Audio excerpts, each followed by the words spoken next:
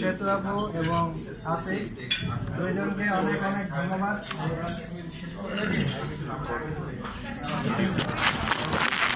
সেটা হচ্ছে আসিফ এবং সেতু অসংখ্য ধন্যবাদ আমাদের জন্য।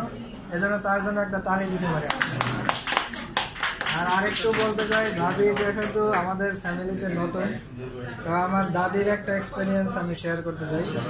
আমার দাদি, আমি যখন ছোট ছিলাম তখন আমাকে এসে বলছিলেন যে খুব মানে প্রাউড তাকে কোন এক মহিলা আইসা বলছে যে আমার ফ্যামিলিতে যে ছেলের বউরা আছে এরা এত ভালো আমার মেয়ের মতো এবং এবং আমার মেয়ের যে জামাইগুলো আছে এরা আমার ছেলের মতো আমি খুব লাকি তারে মহিলারা এসে বলতেছিল এবং সে খুব প্রাউডলি অন্য আরেকজনকে বলতেছিল আমি তার কাছে ছিলাম এবং আমি আশা করি আমরা নেক্সট জেনারেশন আমাদের ফ্যামিলিতে যারা ওয়াইফ হিসেবে আসবেন, তারাও সেই আমাদের মা চাচির স্থানটা দখল করতে পারবে।